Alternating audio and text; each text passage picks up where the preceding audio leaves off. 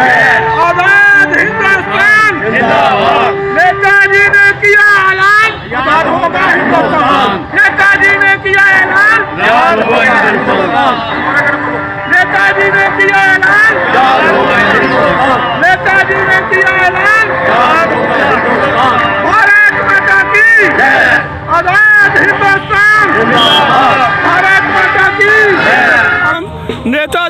चंद्र बोस का 123वां जन्मदिन मनाने जा रहे हैं। नेताजी सुभाष चंद्र बोस के पिता वजी जानकी नाथ बोस और माता प्रभा प्रभावती जी की कोख से पैदा हुए उड़ीसा में शहर, उड़ीसा के शहर कटक में उनका आज ही के दिन जन्म हुआ और वो एक माने हुए, उनके पिता एक माने हुए वकील थे।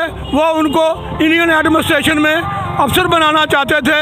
तो नेताजी ने इंडियन एडमिनिस्ट्रेशन का सर्विस का इम्तहान इंग्लैंड जा, जाकर चौथी पोजीशन में पास किया और इंडियन सिविल सर्विस में शामिल हो गए।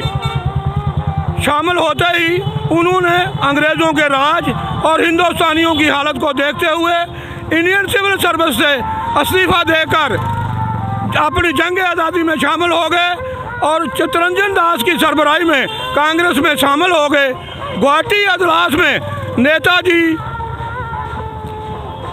गर्म दल के आदमी थे और जो पहले लोग थे वो नरम दल के थे। वहाँ गर्म दल और नरम दल में आपस में रशाकशी की वजह से नेताजी ने कांग्रेस को खारबाद कर दिया और फॉरवर्ड ब्लॉक नाम से नई पार्टी तश्कील की। नई पार्टी तश्कील करने के बाद नेताजी ने मुकम्मल जदोजहद आज़ादी के लिए ऐलान किया और जंग आज़ादी में कूद पड़े। नेताजी बाया पेशावर होते हुए बर्लन पहुँचे, बर्लन से जापान पहुँचे और जापान में जाकर जापानियों की मदद से हिंदो, आज़ाद हिंद फौज का गठन किया और हिंदुस्तान की आज़ाद हिंद गवर्नमेंट का गठन किया और ब्रिटिश गवर्नमेंट पर अटैक कर दिया, हमला कर दिया और लड़ाई में तीन चार सूबों को आज़ाद कराकर भारत माता के सपूत मंचोरिया जाते हुए रास्ते में हादसे का शिकार हो गए, जिनकी आज तक कोई तस्दीक नहीं होगी। कुछ लोग कहते हैं कि नेताजी उस हादसे में मौत हो गई थी और आम लोगों का ख्याल है कि नेताजी उस हादसे से बचकर निकल गए। जय भारत, जय हिंद।